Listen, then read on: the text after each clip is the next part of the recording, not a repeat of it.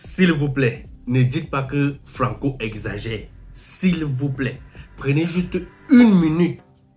C'est capital. Prenez juste une minute de votre temps. Écoutez attentivement ceci. Ça ne sert plus à rien. Parce que si ce n'est pas le poison, c'est autre chose. C'est des choses mystiques qui te guettent. On a la soeur que vous voyez en haut, elle est morte hier. Et c'est son oncle qui est derrière tout ça. Je vous revête la cause. Son oncle est derrière tout ça. Alors je vous explique. Elle vivait ici en Europe depuis plus de 10 ans avec son homme. Depuis plus de 10 ans, il n'y avait pas de situation. Eux ont trois enfants comme vous voyez sur la photo là. Eux décident donc d'aller au pays, histoire de faire le mariage. Pendant la dot, tout, tout s'est bien passé. Mais il y avait un oncle qui refusait toujours que ce qu'on leur donnait, ce n'était pas ça. Il refusait, il faisait des problèmes. Alors, c'est comme ça que la soirée, l'oncle décide maintenant de venir embrasser la mariée, comme c'était la, pendant le moment d'embrasser les mariés, de donner les cadeaux. L'oncle décide donc de venir embrasser la mariée. Pendant ce temps, il prend euh, la serviette, il essuie la face de la fille avec. Il allait s'asseoir. La fille a continué à, à fêter, à prendre les cadeaux. Elle allait elle-même s'asseoir. Maintenant qu'elle voulait danser pour son, elle voulait chanter pour son mari, comme vous voyez, ce qui est sur la vidéo circule sur la toile. La soeur est tombée. J'ai dit la soeur est tombée, elle est morte. Tout ça à cause de son oncle. On a encore cherché son oncle dans la salle. On n'a plus vu son oncle. Il était déjà parti.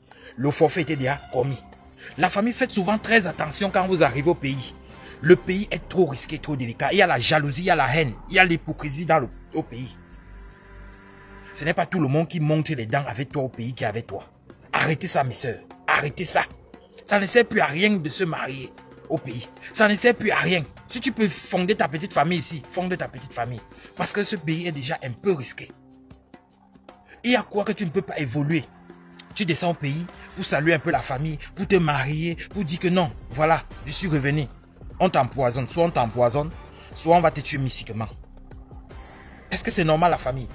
Partagez la vidéo, mettez votre avis en commentaire et activez la cloche de notification. C'était Camte de Lyon. Bisous à vous là-bas. Voilà une soeur comme ça. Elle a laissé trois enfants. Trois enfants, le mari en pleurs. Il est en train de regretter pourquoi il a fait. Il est venu au pays. Partagez la vidéo massivement la famille. C'est tout le Cameroun qui en pleure. Hey! Hein?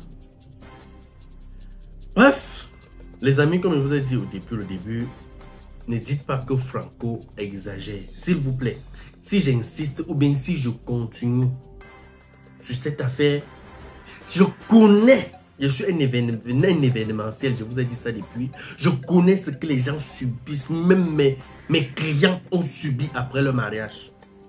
Nous, on voit même les gens sur la toile souffrir après le mariage, même un enfant ils n'ont pas. Vous comprenez bien ce qui s'est passé, non? En fait, c'est quelqu'un qui a suivi ma première vidéo où j'expliquais comment j'avais mis la sécurité lors de mon mariage. Il m'a dit, Franco, tu avais parfaitement raison. Écoute ceci. La personne m'a balancé. Je ne connais pas la personne. Il faut être véridique. La personne m'a balancé ça me faisant comprendre que c'est un proche du couple. Je ne connais même pas le monsieur qui parle là. Mais j'ai juste décidé de partager juste pour vous prouver. Parce que quand j'ai parlé, j'ai fait ma vidéo, j'ai expliqué que, gars, le diable n'aime pas l'amour. Il y a des gens qui n'aiment pas entendre le mot mariage. Voilà un monsieur qui vivait depuis longtemps avec sa femme. Je ne savais même pas que c'était les Benguis. Je ne savais même pas, c'est dans la vidéo, c'est que moi j'entends aussi ça. Vous comprenez? Ils vivaient eux depuis haut. Mais juste, tu vas entendre là que la femme s'est partie comme ça pour une affaire peut-être de 5 000, de 10 000. Pour rien comme ça, là, on te, on te ôte la life, les amis. Je vous assure que vraiment, eux, Seigneur Jésus, eux, eux, là, là, là, là, là, là, là, là, là, là, là, là, là, c'est terrible. Donc, je ne sais même pas. Merde. Vous confirmez maintenant tout ce que je vous expliquais. Que quand tu fais ton mariage comme ça, il faut mettre la sécurité.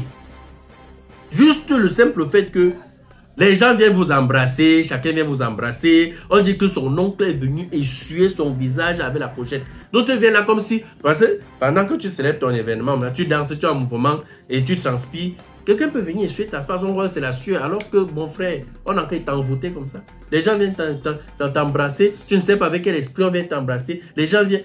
il faut toujours embrasser tout le monde quand vous vous mariez. Quand vous pensez que c'est tout le monde qui est content de vous voir être unis, de vous voir en amoureux, de vous voir... Euh, le mariage est devenu un trésor. C'est pas facile de se marier de nos jours. Ce qui fait que quand tu as la chance de trouver ton gars ou de trouver ta femme, mon ami, fais attention. Fais attention. Moi, je fais ma vidéo pour ceux, pour ces gens-là qui vont encore se marier, qui sont en train de préparer leur mariage et qui, ou bien qui vont se marier à la longue. Mettez toujours la sécurité. Ne vous amusez plus. Ne vous amusez plus. Je dis que si, on, si chaque couple, après son mariage, doit venir sur la toile, expliquer les, problèmes qu'il a eu après son mariage, je vous assure que même en commentaire, si, si Facebook avait permis qu'il y a le voice, qu'on fasse le voice en commentaire, vous devez écouter les témoignages des gens qui ont fait une vidéo, mais ça seulement en commentaire, ça dit que, hey, donc c'est ça après le mariage. Vous comprenez bien ce qui s'est passé? Un ego comme ça, cadeau. Quand je vous dis que, les amis, soyez prudents. Soyez prudents quand vous organisez votre mariage comme ça. Soyez prudents. Multipliez la vigilance. Le monsieur n'était pas vigilant. Pourquoi? Tant de mal Pourquoi tant de mal? Seigneur, la femme sait faire quoi pour mériter ça En tout cas, les amis, je partageais ça juste pour que vous compreniez. Une autre chose que j'avais oublié de vous dire. Nous sommes bantous. N'oubliez pas vos traditions. Quand on va venir vous dire que ah, telle chose, on vous dit que évitez. Je connais les familles que chez eux, là, la dot est interdite. Tu peux trouver ton gars, vous partez faire un état civil, vous, mais tant que vous pensez un peu un jour seulement, je connais une famille comme ça. Si vous songez seulement à faire la dot, ou bien si tu viens donner même seulement un vin au père de la fille que je viens doter ta fille, c'est pour la dot, directement, ta femme devient folle. La tradition ne blague pas, la coutume ne blague pas vous allez aller entrer dans les églises, on va dire que non, on va prier, ça va partir. D'autres vont tomber comme ça là. D'autres vont... Il y a d'autres là, que si tu ne respectes pas la coutume, comme on te dit là, ça peut prendre ta tête. Donc faites attention, quand vous dites évitez ceci, évitez, évitez, ça ne vous coûte rien. Ça ne vous coûte rien, mais vous entrez dans les églises pour dire que non, vous allez contrecarrer, vous allez bagarrer, vous allez euh, faire face à ça, vous allez combattre. Hmm. Ça peut marcher, ou d'autres ça marche, ou d'autres ça allait haute la life. Vous avez bien compris, les amis. Soyez prudents. Soyez prudents. Merci de partager la vidéo.